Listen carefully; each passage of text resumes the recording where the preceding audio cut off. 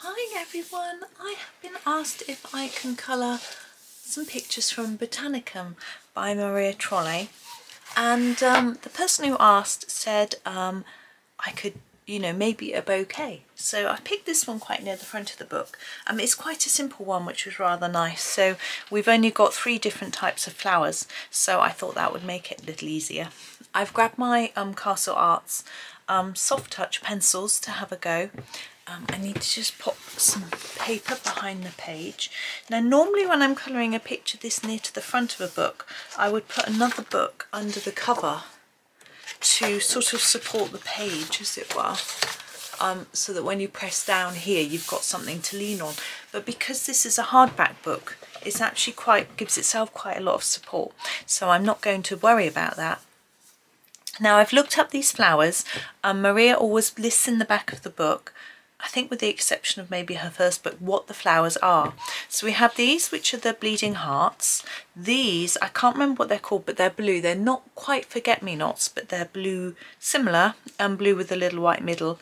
And these are a type of tulip called ballerina, which are sort of orangey. So I'm going to colour in those colours, but I haven't got photographs or anything to go by. I just thought that I would just do them as similar as I could, really. Now we're going to start with the bleeding hearts. Um, I've got some of these in my garden at the moment, but not this precise one. Um, I was looking at the the pictures of these. Um, I looked up some pictures, and this one is particularly dark. Um, this little piece coming out isn't white like mine, it's um, pink. So I'm going to do this in two shades of pink. I'm not going to do it quite as dark as it actually is, um, particularly not to start with. So I'm going to use the grenadine pink for all of the um, sort of top hearts and I'm just going to work through colouring them all with just a layer of the grenadine to start with. This is really blunt. Um, let's just find my sharpener.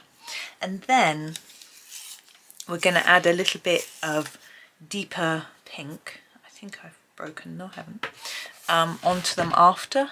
So there are different techniques to um, adding layers of colour and um, I vary in what I use. Um, today I'm in the mood for putting down a sort of layer, a fairly even layer. Um, I'm quite far away but because we've got a lot in shot I can't really get any closer but I'm sure it's good enough for you to see um, at the minute anyway. Um, so I'm just putting down a reasonably even layer of the grenadine pink and then I'm going to um, add a darker colour in some areas. Now the actual plant is almost a ready pink. Um, I would, if I was using my polychromos, you know, I would say it would be like a pink carmine, um, something like that. But um, I'm not I'm using castles and this colour just sort of jumped out at me really. I've got my swatch chart in front of me. Um, if you don't have castles, I do have some comparison charts on my Ko-fi. Um, I'll try and remember to include the links in the description for you. So I've got comparison charts with Castle and other main brands. Um, only brands that I've got, of course, um, you know, I can't compare to brands I don't have. But um, things like, um, I think I've got polys and prisms, but I can't actually remember. But um, all there for you so that if you don't have this brand, you can do that um, comparison and get your next nearest match. I know some of you would just know instinctively what colour would work, but not everybody does. Um, I didn't used to, I sort of do now. Um, uh, I'm not always 100% accurate, but it doesn't matter. Um, and I'm sort of confident enough to just grab and go. But I know that's not the case for everybody. Um, if you want to try and get the nearest match, then those charts are there for you. And of course, you may not completely agree with my decision, um, it's not always easy. Sometimes there are some, you can't find a close match and you're like, which way do I go or whatever. But I do, I do my best. And only for a few have I done sort of blends to match. With these sets, it's okay. You can usually find a fairly close match. But when I was trying to match to Derwent um, drawing pencils, they are such unique colours that I just couldn't find a match. So I had to blend to get matches, which um, was was fun. It meant I could get a much more accurate match, but I wouldn't normally do it if there was only one or two that I couldn't match, but there were so many that I just had to really. And uh, I was actually watching um, Colour with Claire yesterday and she had been in touch with Derwent, which I had, and Derwent had some news actually regards to Derwent um, drawing pencils. Well, they said they were bringing out some open stock pencils and she is hoping that um, some more pencils and she's hoping they're extending their Derwent drawing set because it is a lovely set of pencils. I'm still learning with them to be honest because they're they've got such thick core um, you can't get a good point. I mean I know I'm not colouring with a really sharp point but they're so thick that I find them great for backgrounds because they're so smooth and smushy but if you want to get any sort of detail I'm just trying to work out what that is I think it's a bit of the um, um, sort of branch thing. Um, if you you it's just really tricky to get a you can't do detailing with them very well but they are lush pencils and I need to use them more. But um, what her good news, her exciting news was they're definitely bringing out open stock Chromaflows for the new 50 that they've just brought out. Um, they told me there were no plans when I asked them, but they told her there were. so I hope um, she contacted them a bit later than me, so I hope this sort of changed their mind. Maybe all the questioning and nagging has um, convinced them that there's a demand. I'm not sure. Or, uh, you know, or maybe they just sort of changed their mind. Um, I don't know. But anyway, it's good news either way that she could uh, bring us all. But this, uh, it's a bit irrelevant because I'm colouring with um, colours uh, with um, soft touch Castle pencils. But you know, um, it is it is fun. Most of us have more than one set of pencils. Okay, there's my initial layer done as I um, chattered on. And what I'm going to grab now is the cherry pink. I think this is it. Nope. Sorry, bear with me. My pencil's a bit higgledy-piggledy. No, where is it? Is it down here? Oh, I think it's here. No, that's the purple light. Where is it? It's lost. No, there it is. Oh, I was confused because the bottom isn't that dark, but the colour is really dark. So it confused me. What I'm going to do with my cherry, I'm going to show you on a, this large one here is where, see there's these little lines, I'm thinking maybe this bit is darker in the middle. So I'm just going to put a darker bit there and then just sort of blend it out to the edge. Like that. Okay, I'm going to do that on all of them. It's not really um, realistic, but I think it just makes them stand out a little bit. And I'm not going for photorealism. Certainly not. Never have. It'd be interesting. I admire it hugely. I mean, there are some pictures you look at and they just look like photographs, even if they've been coloured with pencil. I, oh, amazing. But uh, no, just going for fun and uh, nice bright colour. So I'm sort of contemplating, I'm, it's really early on in my colouring of this picture obviously, I'm just realising that I can't see. I'm just going to put my light on. Um, sorry, I hope that's okay for you guys. Um, I think the camera adjusts quite well anyway. It's just really dark outside all of a sudden and so I'm struggling to see what I'm doing. Um, yeah, I'm contemplating background already. Now, I wrote an article, actually, a blog post on my Ko-fi about backgrounds, um, which some of you seem to find useful, which is good. I had lots of links to various videos that have backgrounds in. I've got a whole playlist on my YouTube, actually, of backgrounds um, videos. They're not all like purely, here's a background. They're sort of you know, maybe it's a series and the last one I do a background plus maybe other things. So, you know, they've, they've all got a background in them, if that makes sense. And um, it, I just think sometimes backgrounds are just so daunting that it's nice to have some sort of guidance on it. Now, basically, um, not all pictures need one. Now this is just a standalone bouquet it's not really asking for a background in my opinion. You can put one in, but it doesn't feel like it has to have one. Whereas if I'm colouring a picture which is a scene and there's a sky or a hills or whatever, then I feel like you have to colour those in because they're part of the picture. But here, there's none. And nothing, you know, it could just pop off the page. Some pictures look better without one. So uh, I've seen many a picture ruined with a background, both by myself and other people. I know that sounds very rude, um, but people have, you know, admitted it that, you know, or I look at it and think that was better without one. Um, my husband always prefers pictures without them as well. I'm going to use the Jaipur Pink for the little bits that are coming out of our hearts.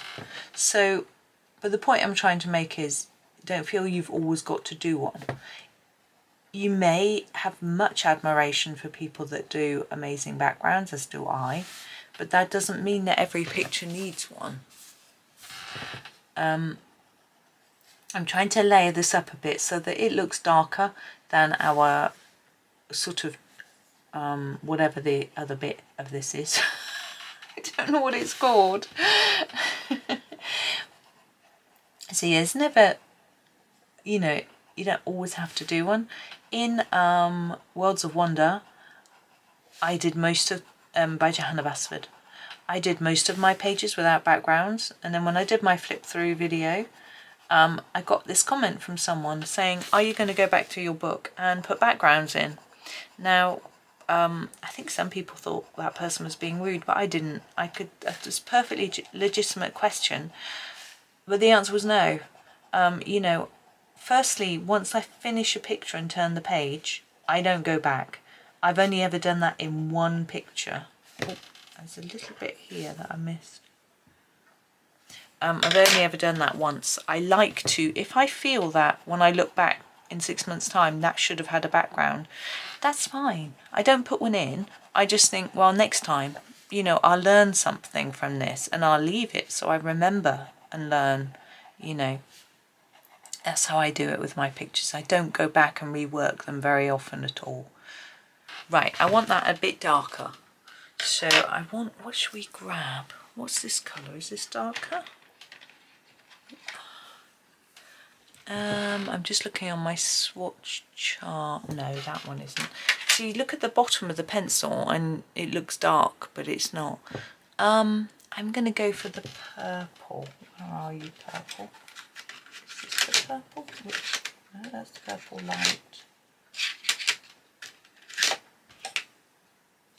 No, that's the cherry. That's too dark.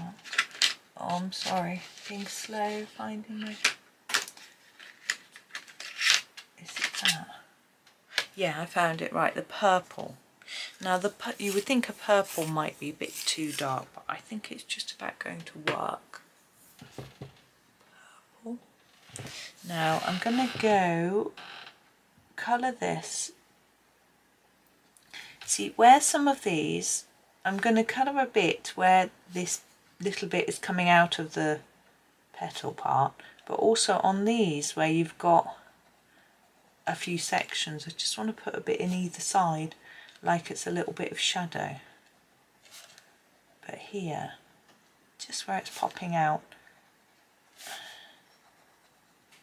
As I say, my plant that I've got, which is in flower at the moment, um, is starting to go over to be honest. It's got very battered by all the rain. Um, it's uh, the little bits popping out white and I think they do look nicer but I'm not um, as I'm not doing a background, colouring white would not really show up. You don't have to do this little extra detail if you think it's too fiddly. You can just miss it out. I don't even know if it's that noticeable to be honest. Now I didn't look at the colours, the green colours very much on the uh, plants. Um, so I'm just gonna, yeah I think the permanent green is probably my friend here.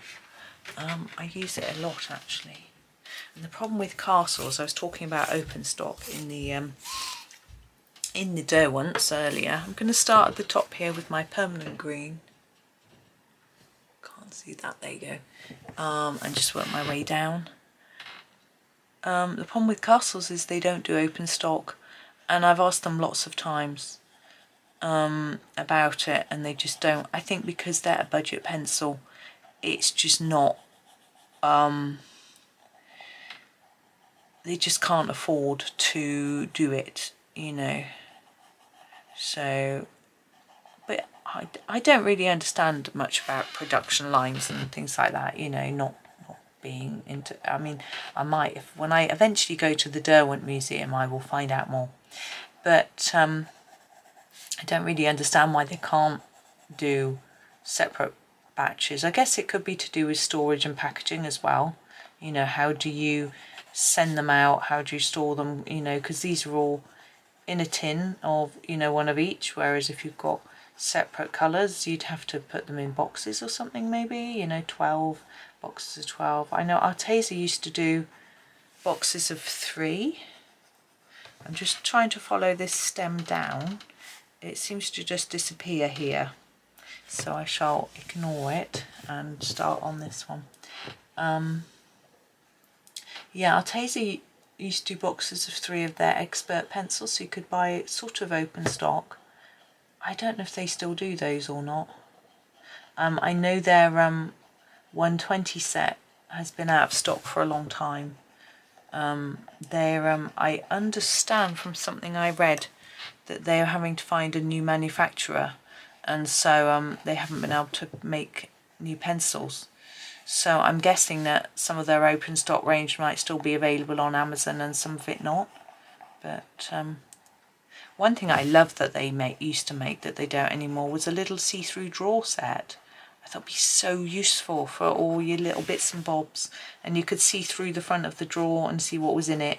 You know, it looked fabulous. But um, it's when I, hmm, I think that is a bit of stem there when I discovered it, it was already out of stock and it has never come back in. So that's a shame. Sorry, I just got to stop and wipe my nose. And then I'm going to do the last little bit here.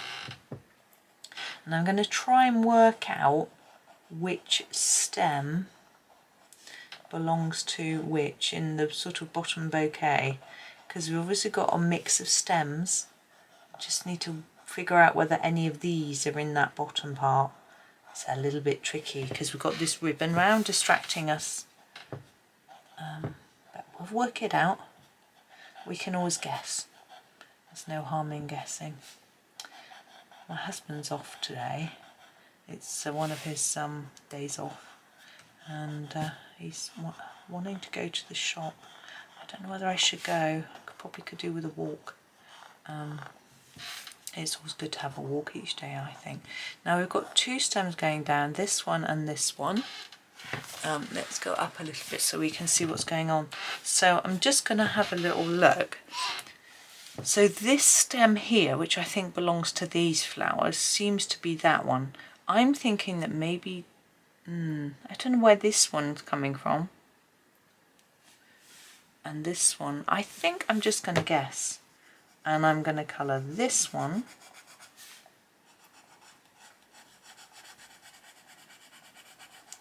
And this one because this one's thin.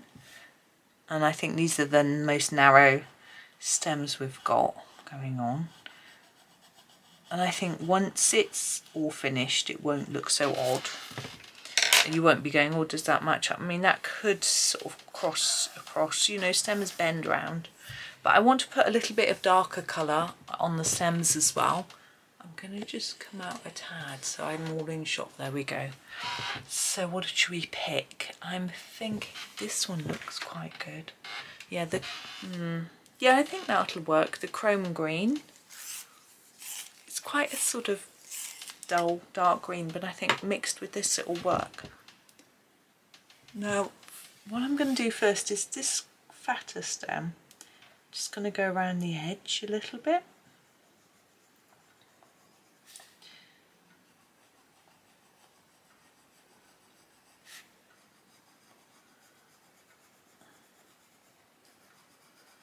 And then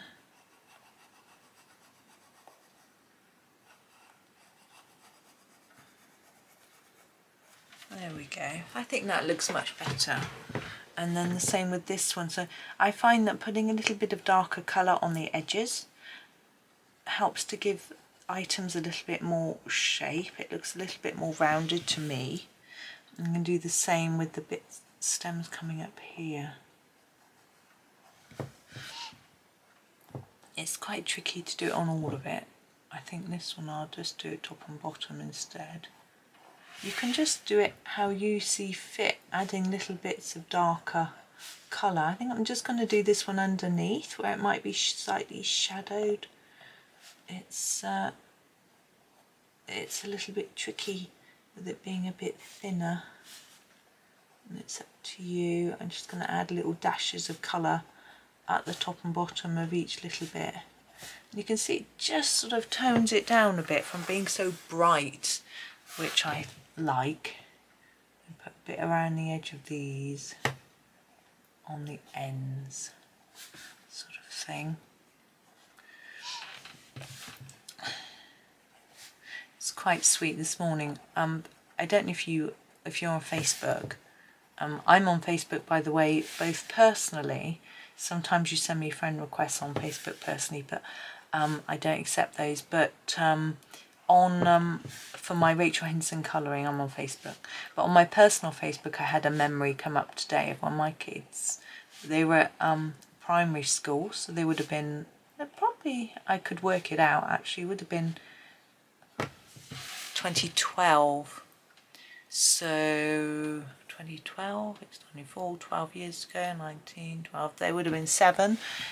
Yeah, and uh, it was the Olympic torch relay. We had the Olympics in the UK. I don't know if people remember um, London 2012, and the torch, Olympic torch, went visited, round, went round the country basically, and uh, it was just it was sort of about four o'clock time when it came. So all the parents picked their kids up from school and then went out onto the streets to watch.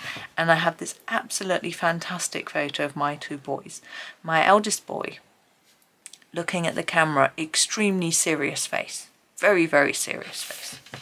And then my other boy sticking his tongue out at me. it's so sweet, so cute.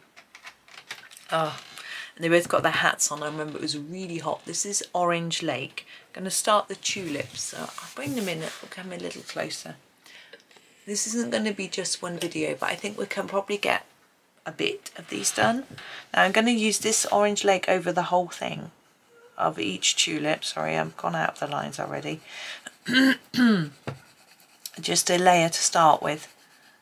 Because um, these are, this particular tulip, it's called, as I said, it's called Ballerina it's orange and red. It's not just it's sort of striped but I'm not sure I'm going to do it quite like that. I think I'll just do some blends rather than stripes. Um, I'm a bit more confident with that.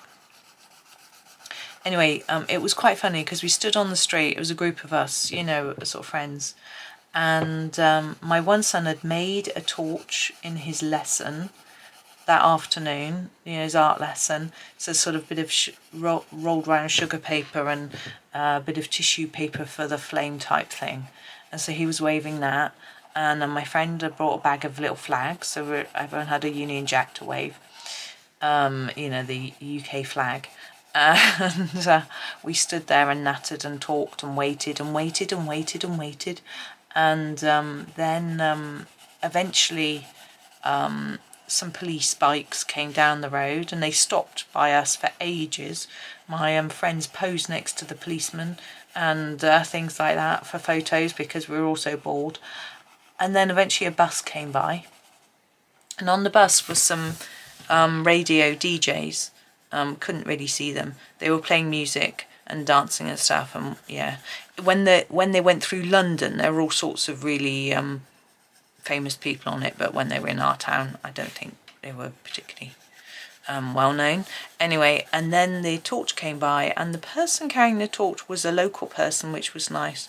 Um, I think it was a, a child-ish, a teenager, you know, from one of the local schools.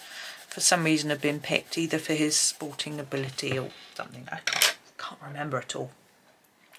Anyway, Um, so it came by in a flash, Vroom, and then they were gone. I was like, wow. We stood here for over half an hour to watch someone go by for 30 seconds. Here is the burnt ochre. We're going to put some darker areas on our tulips. Firstly, thinking about these little petals up here. So where um, the petals are just emerging from behind, we'll just put a layer of this there and do the same on all of them. So a bit darker near the bottom where there'd be a little bit of shadow. I feel like that and the same on this one in here. So yes, it, but it's, you know, I still remember it. And then my friend went into, we were right by a shop, we were right by a Waitrose, and uh, my friend went in and bought a box of um, ice lollies for everyone. It was so hot.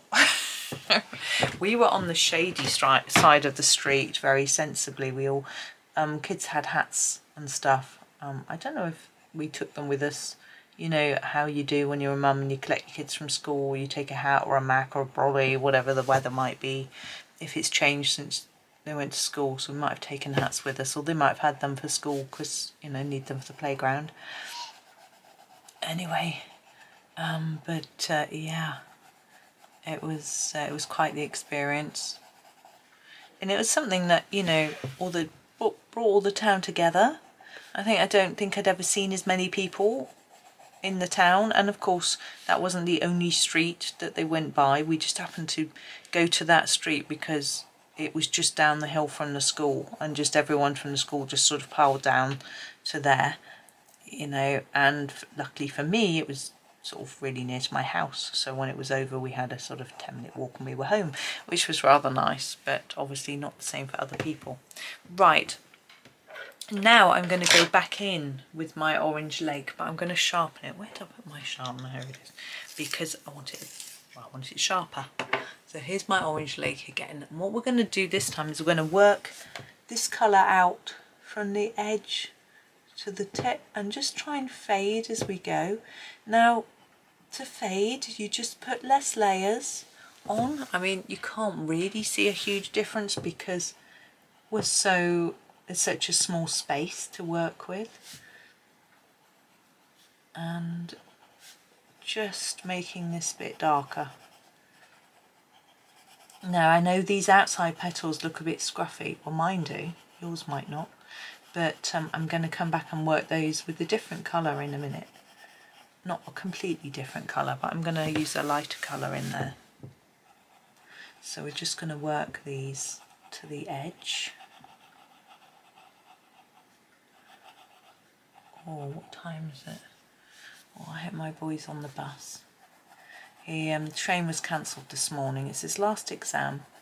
It's actually, um, I'm recording this early. It is May the 24th and it's his last exam. And uh, the train was cancelled, of course. Um, what was the excuse? Due to too many train um, trains needing repairs at the same time. That was the reasoning. Um, so um, he's had to get the bus, but luckily because um, of where he is, there's buses every half an hour, so he's hopped on the bus, and uh, he probably won't be there. He won't be there yet. The bus was just before eight. It's twenty past eight, so um, no, he won't be there yet. And the bus takes a lot longer than the train, two and a half times longer uh, and he doesn't really like it. There's no Wi-Fi on the bus. It's all a bit, yeah. it's loads cheaper. But um, now I want a light orange. I'm going to go for the marigold, whoops, to do these outside petals. Okay, this one's a bit blunt, but I think it'll be okay. Because all I'm really doing is trying to sort of burnish that colour down a little bit. And I might add some darker colour to it after but I just want to tidy it up and make it a bit more solid, if you know what I mean. In fact, sharper pencil is better at achieving that. and then we'll um, see where we go from there with it. I'm going to put a bit of this lighter colour in the middle here too.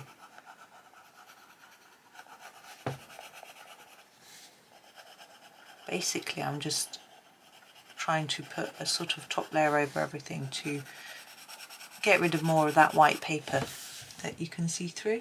There's nothing wrong with seeing white paper through, um, but I don't want quite this much showing.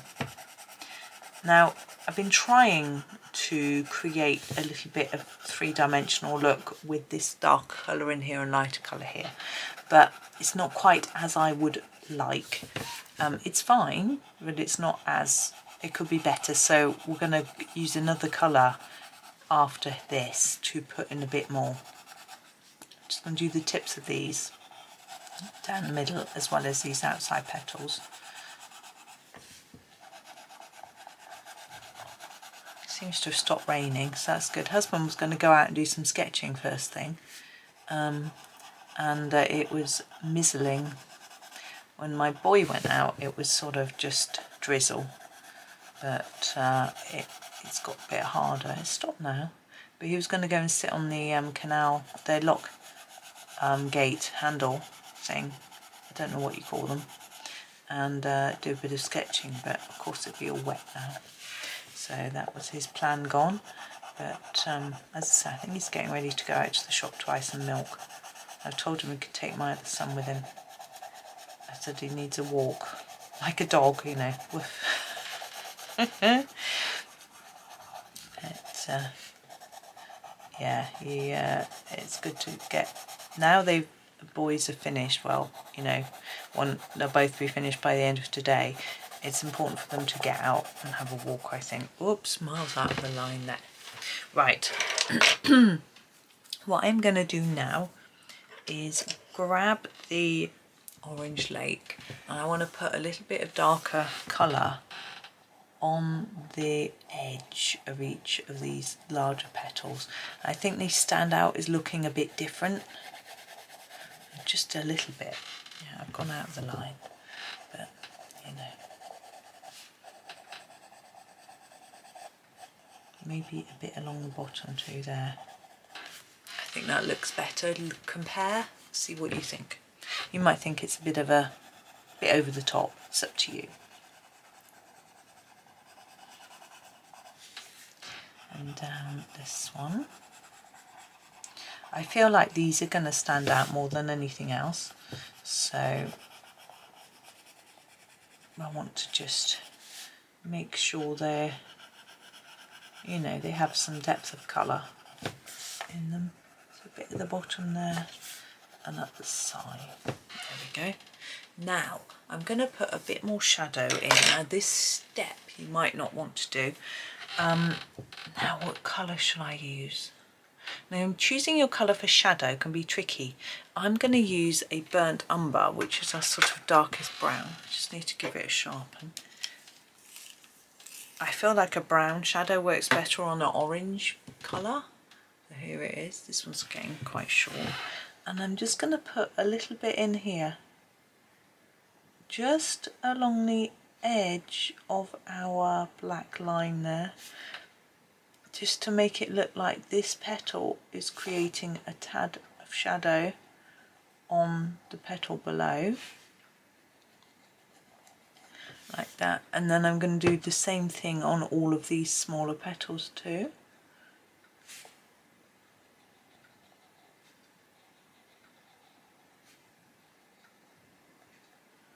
Now down here, can you see we've got a line? I'm going to put a tiny bit on each side to make it look like that. It's just standing out a little bit as if it's some sort of um, vein on our flower.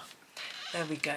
Now you can look at that compared to that and decide whether you think it's worth the effort of putting in this extra bit. It's just such a tiny bit anyway. It's not that tricky.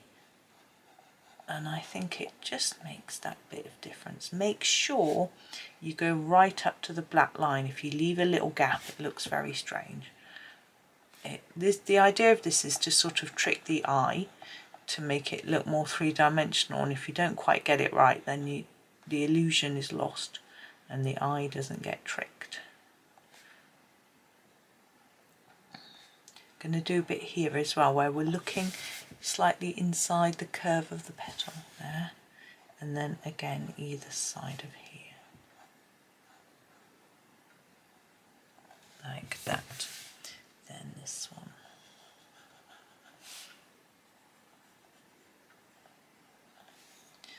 and then I'm going to finish here. I know we haven't done the greenery of the tulip I think it feels to me like we're almost halfway through the page because we've sort of done one set of flowers and stems and one set of flowers and we've got another set of flowers and a stem and a set of stems if you know what I mean. It just feels like it's a good place to finish.